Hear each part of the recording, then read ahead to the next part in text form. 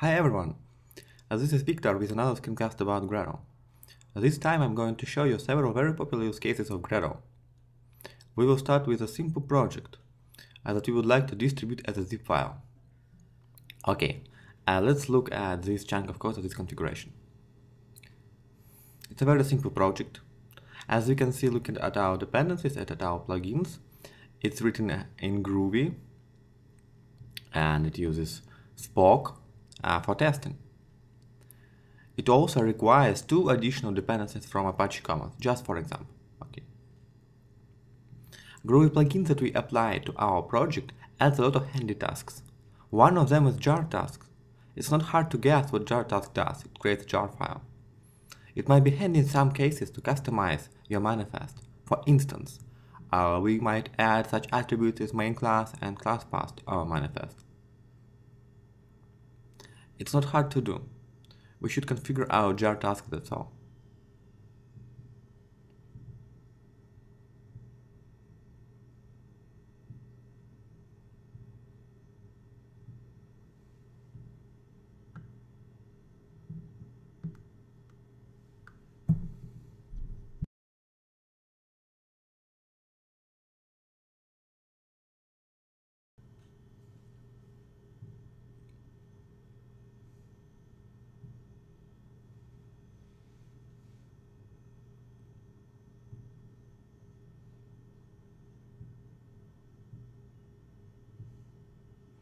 Okay, uh, there are a few things that uh, can be confusing.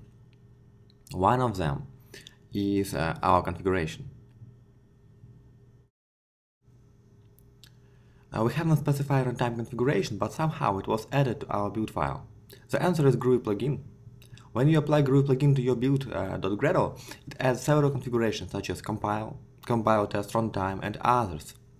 And when you add dependencies to a compile configuration, you will have it in your runtime configuration as well. As we need not only specify dependencies but also alternative dependencies, we invoke resolve method. It resolves a dependency graph and returns a list of files. Then we use gparse to get all names of our files and join them. One line of code, but it does so many things. Very nice.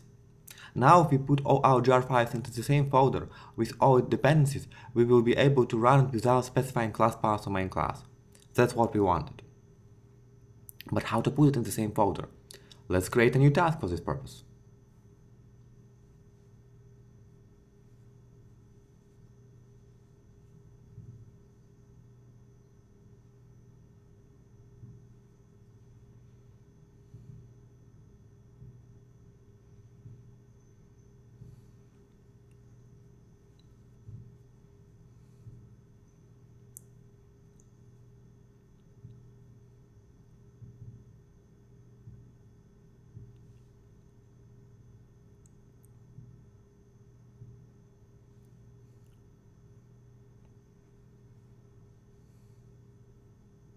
Okay, this is a task that we added. We specified such parameters as type, it's a copy task, uh, and uh, we specified uh, depends on.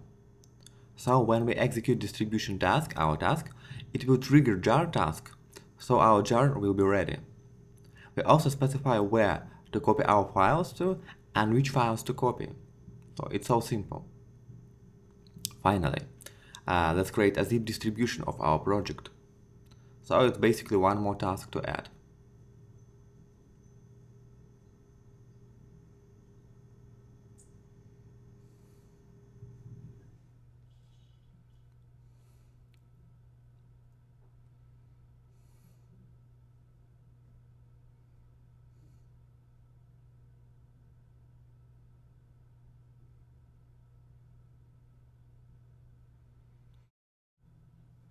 Okay, it's very simple. It basically just zips everything our distribution task uh, put in a specified folder. All dependencies.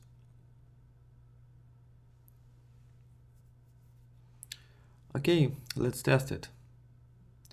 Are we in our project? We have our build.gradle.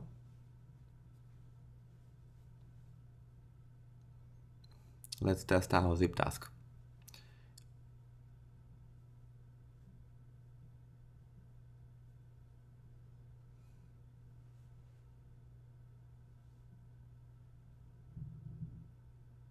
Yep, as you can see, uh, jar task uh, was invoked and our distribution task too.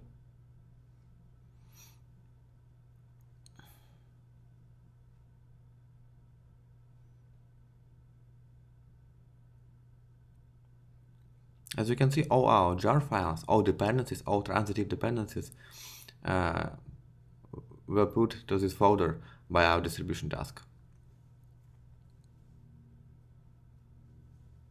And the file is here too. Great. As a second example I'd like to demonstrate uh, is using Ant. Ant is very powerful Too Many libraries and tools provide custom Ant tasks that you can use.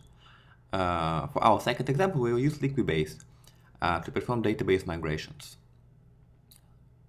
So let's create a Gradle file that will perform database migrations for us. As usual, we specify our Maven Central repository.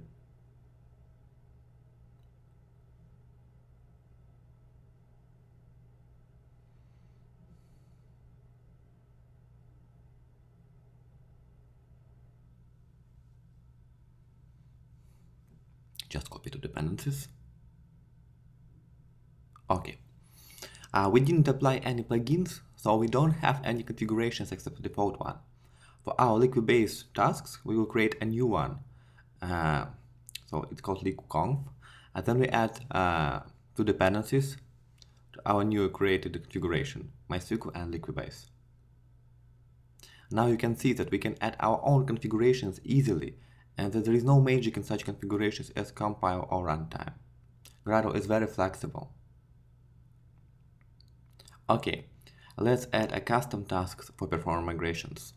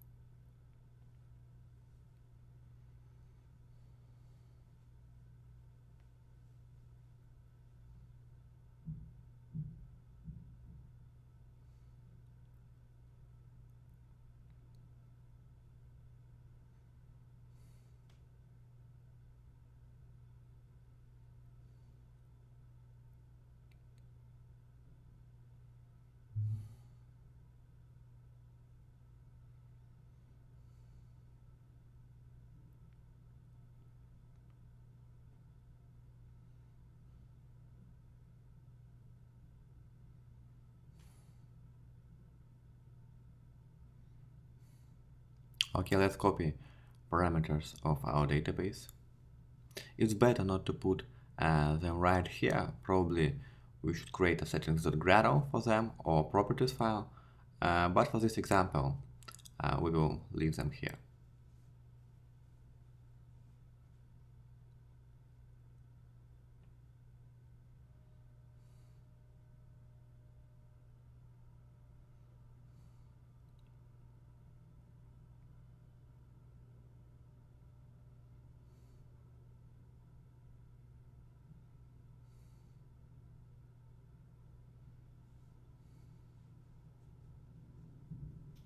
Okay, to be short, I'm not going to describe every line of this task. Uh, Gradle uses Ant Builder, Groovy Ant Builder. If you're familiar with it, everything should be quite clear for you. So Ant Builder is injected uh, to your tasks. Everything should be clear except maybe one thing. We use the variable uh, uh file in our build uh, file, but we haven't defined it. Uh, we are going to pass it as a parameter. So when you execute our Gradle command, we will specify uh, this file parameter.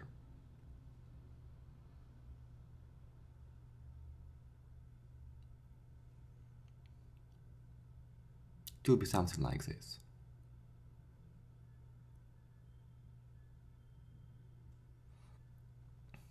Okay, that's all for today. Enjoy Gradle.